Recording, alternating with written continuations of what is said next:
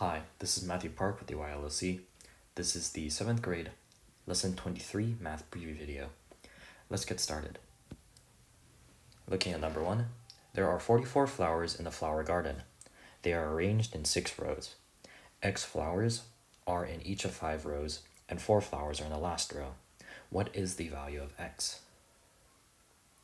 Well, we know that there are a total of 44 flowers. And we also know that there are a total of 4 flowers in the last row. In addition, we also know that there are X flowers in each of 5 rows. So there are 5 rows of, say, X flowers. Converting this word problem into an algebraic equation, we get a pretty simple problem we can solve for. So all we need to do now is solve for x. First, we subtract 4 from both sides. Get 40 equals 5 times x. And now all we have to do is divide by 5. 8 is now equal to x, and we know that our answer is c. All we did in this problem was convert the word or the paragraph into an algebraic equation, and we just solved for x. Moving on to number 2. Solve for x in the expression below and mark the correct answer. 0.5x plus 3 is equal to 4.2. What we can do first is subtract 3 from both sides. And we get 1.2.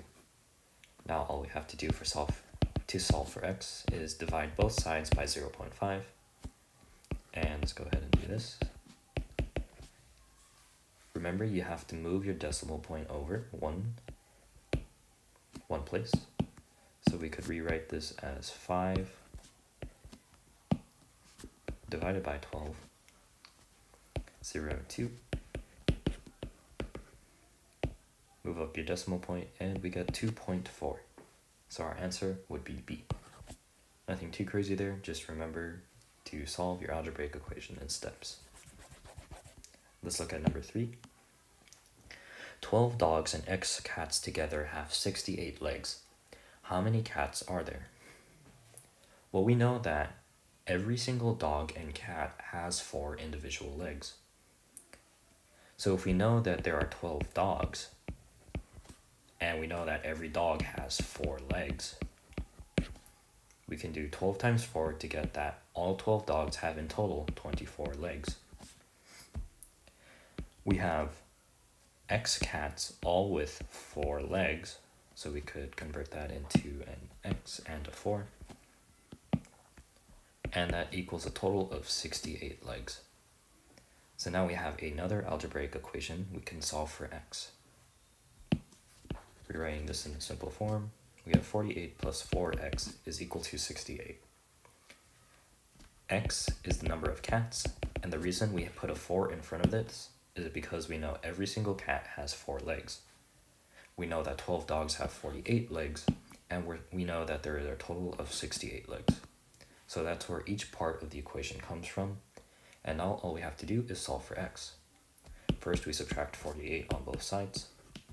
You get 4x is equal to 20, and x is equal to 5 after dividing 4 on each side. That makes our answer A. Let's move on to these. Mr. Moody creates math test questions five days in a week. He works X hours every day except Friday, when he works 2.5 hours. If he works 22.5 hours for a week, what is the value of X? So we know that he works five days a week. He works on Monday, Tuesday, Wednesday, Thursday, and Friday. We know that Monday through Thursday, Mr. Moody works X hours. And we can call this from Monday to Thursday is four days. And in those four days, we know he works X hours meaning we could write that as 4 times x, where x is the number of days, or I'm sorry, the number of hours he works. And we know on Friday he works 2.5 hours, so we can just add 2.5 and set that equal to the total number of hours he works. So essentially, on Monday through Thursday, which is four days, we know that he works X hours. And in addition, on Friday, which is just one day, we know that he works 2.5 hours. So we can set up an algebraic equation, 4x plus 2.5, and set it equal to the total number of hours he works. And now all we need to do is solve for x, and we'll solve the problem. We subtract 2.5 first on both sides, get 4x is equal to 20, then you get x is equal to 5, making our answer A.